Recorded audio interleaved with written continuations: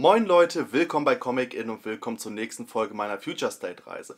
Heute dabei habe ich den Abschluss des Superman Kosmos, Superman House of L, ein One-Shot, der einzige One-Shot für Future State.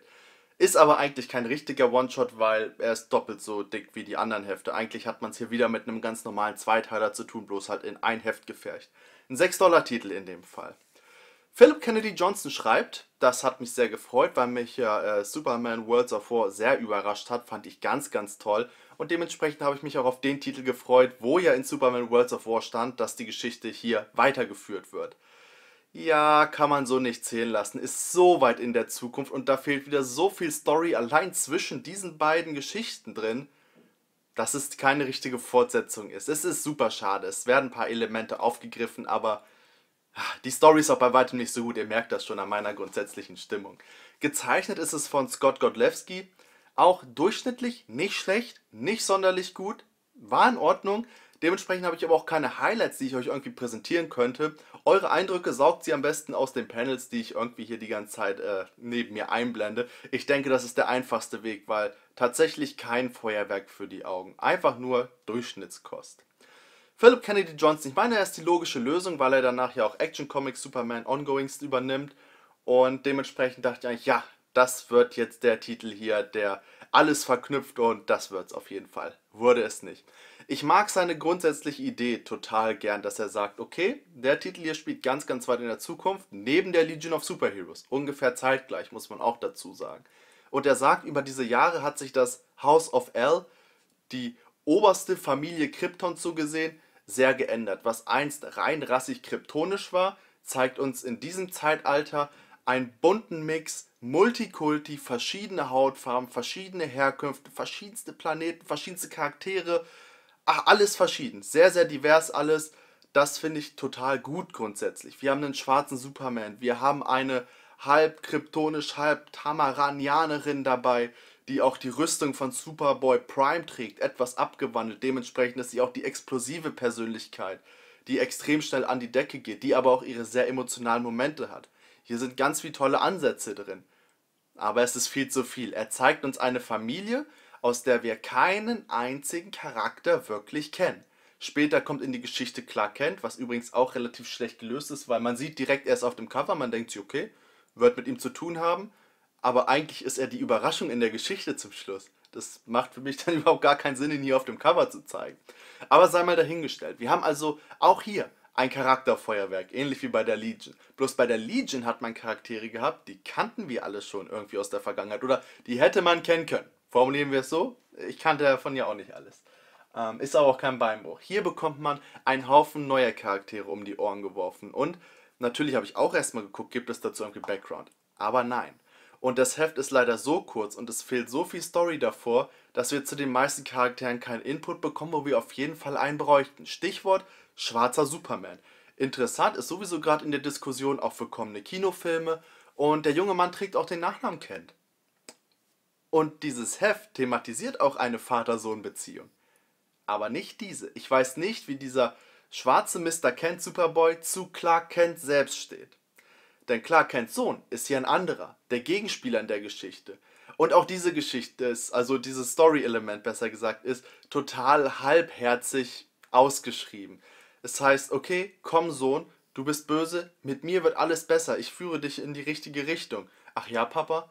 Ja, okay, dann ist alles gut. So einer auf den, wo ich mir denke, ah, du scheinst seit Jahren einen Hass auf dieses House of L zu haben.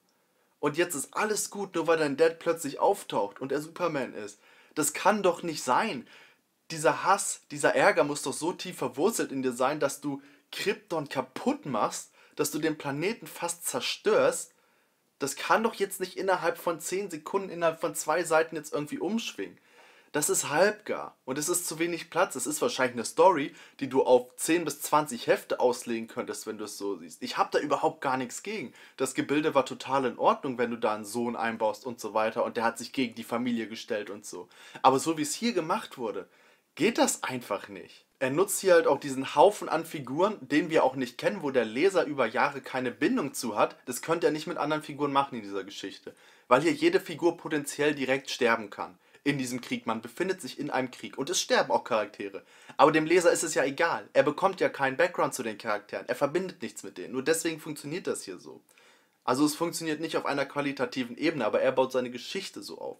Man fühlt sich insgesamt, als würde man hier in einen Actionstreifen einschalten, der aber leider schon anderthalb Stunden gelaufen ist und man bekommt jetzt die letzten fünf bis zehn Minuten mit. Ich verstehe auch, um ehrlich zu sein, nicht, warum man nicht einfach anknüpft an die Worlds of War Geschichte, weil das war so eine gute Grundlage, da lag so viel Gefühl und die war wirklich gut geschrieben. Und jetzt lässt du Superman danach wieder verschwinden für eine ganz lange Zeit, wo niemand was von ihm hört? Das hatten wir doch davor schon. Warum wiederholst du denn dieses Element nochmal? Habe ich nicht verstanden. Auch wenn man teilweise sehr nette Anleihen hat. Zum Beispiel, er war ja auf der Warworld und er hat gesagt, ich gehe hier nicht weg, bevor ich nicht jeden Gefangenen befreit habe und bevor ich jede Kette durchschlagen habe.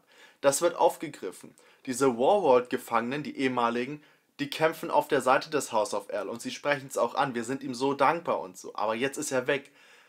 Es ist auch nicht klar, wie lange er weg war. Das sei auch dazu gesagt. Man hat auch einen kurzen Bezug auf Superwoman, beziehungsweise hier wird sie Supergirl genannt. Okay, sie war sowieso mal Supergirl, lasse ich so gelten. Und auf einen Moondragon. Das passt wunderbar. Ist eine schöne Anleihe auf die Superwoman-Geschichte. Auch wenn es nur kurz reingeworfen wird, man hat da ein bisschen Kontext. Man weiß, das Ganze spielt in einem Kontext, in einem Universum. Sowas mag ich, so kleine Details. Aber ich hänge mich halt wirklich an einigen Elementen hier auf. Ich habe schon eben das gehetzte, komische Ende erwähnt mit dieser Vater-Sohn-Geschichte. Und auch der Einstieg. Ich weiß nicht, was das sollte. Man beginnt in Reimform. Aber das sind bei weitem keine sauberen Reime, die für mich so in dieser schmutzigen Art und Weise überhaupt gar nicht mehr funktionieren. Und ich, ich beschäftige mich gern mit Sprache und sowas. Es geht ja fast in Richtung Battle Rap, so schmutzig sind die Sachen hier ausgereimt. Muss das denn sein? Dann schreibt doch einfach eine ganz ordentliche, einfache Einleitung, die jeder Mensch versteht. Aber so in der Art und Weise war das halt nicht angenehm und nicht cool als Einstieg. Und das greift man halt einmal im Mittelteil und zum Ende auch wieder auf. Und an keiner Stelle funktioniert es wirklich für mich. Ich will aber noch mal kurz auf den ähm, schwarzen Superman eingehen, zu dem wir keine Story bekommen. Also hier hätte ich wirklich unglaublich gern Input gehabt, weil, ey, das ist unser Superman. Und das ist ein Superman-Titel. Ja, finde den Fehler. Und der hat auch eine Schwester. Und diese Schwester ist nicht nur halb Kryptonierin, sie ist gleichzeitig auch noch eine Blue Lantern. Und hier rückt wieder eins der Future State Motive in den Fokus die Hoffnung. Und die Hoffnung wird hier an mehreren Punkten angesprochen. Es ist nicht nur, dass die Blue Lanterns grundsätzlich schon für Hoffnung stehen. Ne? Es ist auch das Brainiac 4 müsste vor sein. Wir haben mittlerweile auch im Future State so verschiedene Brainiacs wieder am Start. Der spricht das Wort Hoffnung wirklich aus, in Form von Clark Kent, dass er ihn gefunden hat im Universum. Er galt ja als verschollen, aber mit ihm will er die Hoffnung zurückbringen. Und auch Clark Kent nimmt das Wort Hoffnung nochmal richtig in den Mund und dass das alles ist, worum es eigentlich geht. Da scheinen sich die Autoren wirklich drauf committed zu haben. Okay, das hier ist eine apokalyptische Weltdarstellung, aber die Hoffnung sollte in jedem Titel irgendwo im Mittelpunkt stehen oder zumindest in den meisten und das schafft man hier in dem Titel. Nächstes ganz, ganz großes Fragezeichen, Black Racer. Wir hatten das Black Racer Feature, was ich wahnsinnig schlecht fand und wir haben hier wieder die Black Racerin. Aber da, wo sie uns noch sehr nahbar schien und sogar eine Rebellion der Warworld angeführt hat in ihrem normalen äh, Future State Feature, was ist denn hier? Sie bringt einfach Brainiac um und geht dann wieder und wird von dem House of L gejagt, spricht quasi kein Wort. Was ist das? Das ist aber nicht die Black Racerin, die wir so kennengelernt haben. Ja, sie ist die Verkörperung des Todes, aber das ist doch nicht dieselbe Person. Wie passen denn die beiden Feature zueinander?